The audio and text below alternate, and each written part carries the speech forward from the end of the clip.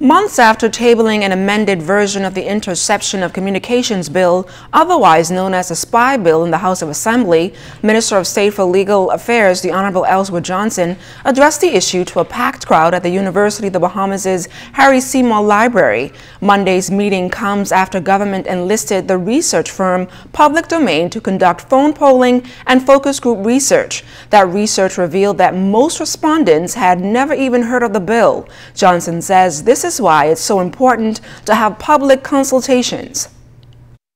One of the things that we all agree is that of, is of the necessity for the bill. And I think we all agree that there has to be public consultation so that at the end of the day, what the government produces is in accordance with its constitutional mandate, and that is to produce laws for the peace, order, and good governance of the Bahamas. It's very important to have the views of the persons who you will govern to have their views in legislation because it lends a flavor to it. It represents the will and the desire of the people. The Interception of Communications Bill is meant to replace the Listening Devices Act of 1972, which government feels is inadequate in the fight against criminals using modern technology.